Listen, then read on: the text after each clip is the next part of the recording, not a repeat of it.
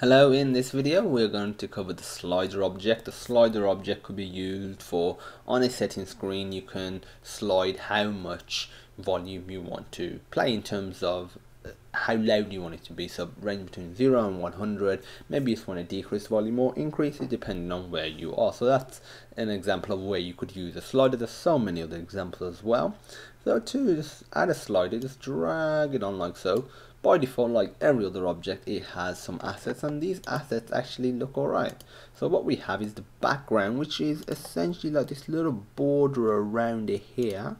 Then we have the inner progress bar which is this white part and as you can see it is fully white. And as I change the slider progress only certain parts of the progress bar is shown aka the inner progress bar which is cool so you don't have to code any of that yourself. Node style this normal is this little button that you would slide which will show you afterwards. Pressed is how you're locked. Well when you press the button and disabled is how you're locked. When you change the state to disabled which you can do in code as well.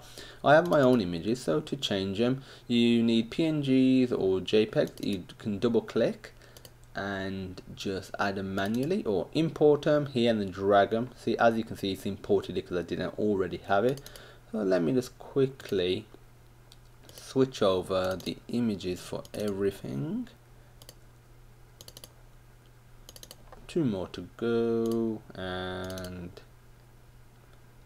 here we go. Okay so yeah I'm gonna leave you at 34% run it and just make it a little bigger. So if I slide it look up and if I press the button it changes to the pressed node style and I can slide it but what happens is only a certain part of the blue bar which is the inner progress bar is shown again. You don't have to worry about any of this. This is the great thing about Cocos. It handles all these objects for you or a lot of it for you.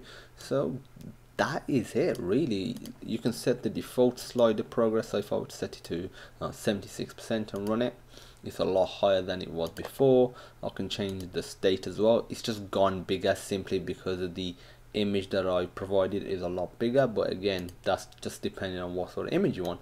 And as you can see I can't do anything because it's in its disabled state but by default it still has the initial slider progress which is 76% so let's just change it back to normal state.